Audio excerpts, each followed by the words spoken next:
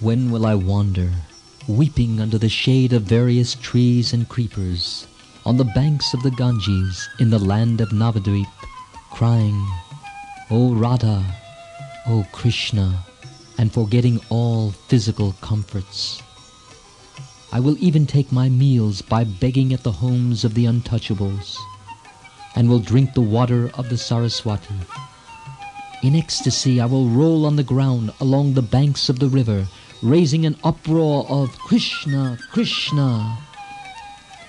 Bowing down to the inhabitants of the holy land of Navadvip, I will beg for their mercy.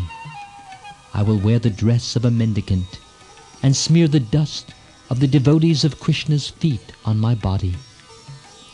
I will see no difference between the inhabitants of Vrindavan and those of Navadvip, and I will be transformed into a resident of Vrindavan.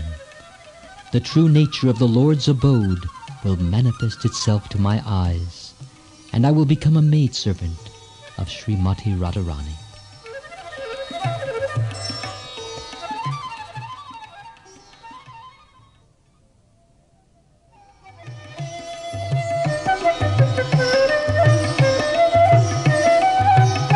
When, in a flash,